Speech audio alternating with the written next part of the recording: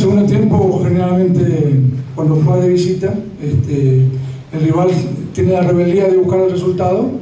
Nosotros por eso este, en el primer tiempo lo sorprendimos, le jugamos de una manera que lo, sorprendimos, entonces pudimos hacer el gol.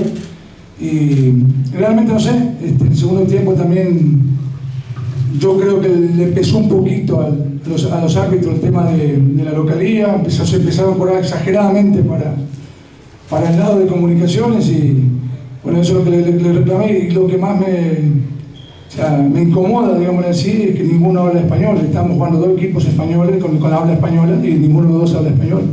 Entonces estamos en el aire y sinceramente me hubiese gustado que hubiesen tomado una mejor decisión y, trajeran, aunque sea uno el cuarto árbitro que hablara español, porque nos merecemos un poco más de respeto. Este, nosotros que hablamos en, en español y estamos jugando dos equipos de, de, de ese habla. Y, en el segundo tiempo me pareció muy parcializado y este, ¿qué más? Yo creo que si dirige así el árbitro en, en San Pedro ganamos 5 a 1, 5 a 0 nosotros, si, si dirige de esa manera un árbitro para nosotros. No, lo que se tiene que hacer siempre, que jugar local, tiene que ganar. Ahí te das cuenta que si ganás por 1 a 0 estás clasificado.